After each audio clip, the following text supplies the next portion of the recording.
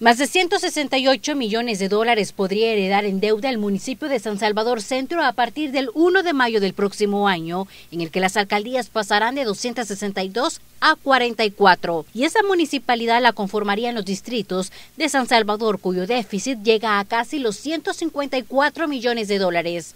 En mexicanos es de 8 millones, en Ciudad Delgado es de más de 4.9 millones y en Cuscatancingo el monto es superior a los 1.8 millones de dólares. En el caso de Ayotuxtepeque, el edil asegura no tener ninguna deuda. Otro de los municipios que tendrá el mayor déficit es San Salvador Este con 55.8 millones de dólares que se acumularán por los distritos de Soyapango, Ilopango, San Martín y Tonacatepeque, mientras que la Libertad Sur, que aglutina los distritos de Comasagua y Santa Tecla, asumiría una obligación de 53.5 millones de dólares. De acuerdo con el portal de transparencia fiscal, las 44 alcaldías podrían heredar más de 816 millones de dólares en deuda acumulada hasta el primer trimestre de este año. Este es un informe de Marcela Rivera.